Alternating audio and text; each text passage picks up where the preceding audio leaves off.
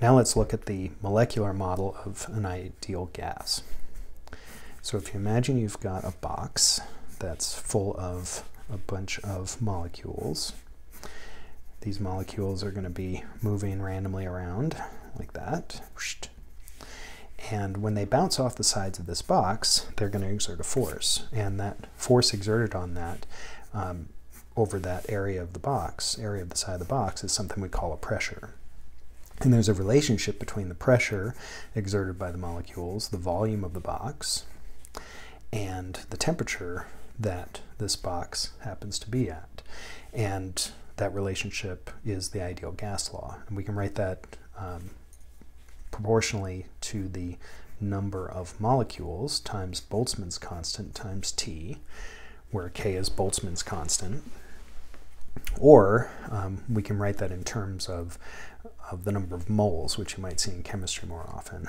Um, and that's just taking this relationship here and rewriting it by saying, well, the number of moles is the number of molecules divided by Avogadro's number. I'm going to multiply that by Avogadro's number, so I'm effectively just multiplying by 1 kT. So I just put in a Na over Na there.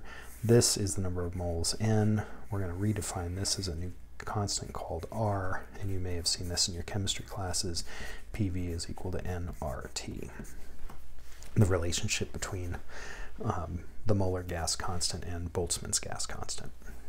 So what this relationship says is that uh, if we keep the temperature of the gas constant, if we raise the pressure, the volume has to go down, right? So pressurizing a gas is going to compress it.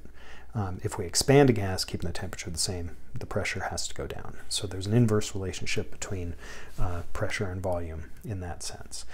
It also allows us to compute um, what this pressure and volume relationship is. So for example, if I had uh, one mole of air,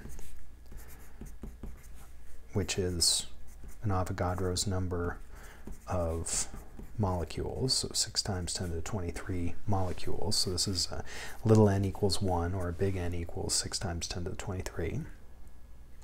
And I'm at uh, room temperature, we'll just call that 300 degrees Kelvin, and room pressure, we'll call that 1 Pascal, which is 1 times 10 to the 5, uh, sorry, 1 atmosphere, which is 1 times 10 to the 5 pascals. The question is, well, what is the volume of air at that uh, pressure and temperature. So we can use the ideal gas law to do that. PV is equal to nRT. If I solve for the volume, I get nRT over P, or I could get nKT over P, same thing. Uh, just put in different uh, use n here in k instead of little n and r. But if I do that, then I get something like um, 1 mole times the gas constant, which is 8.3, times 300. And I have to use that in Kelvin to make the units work. Then I divide that by uh, 1.0 times 10 to the 5. And if I do that, that's about 2400. And so I wind up getting uh, 2.4 times 10 to the minus 2 cubic meters, which is about 24 liters. That also uh, is a box uh, about 30 centimeters on a side. So that's about that big.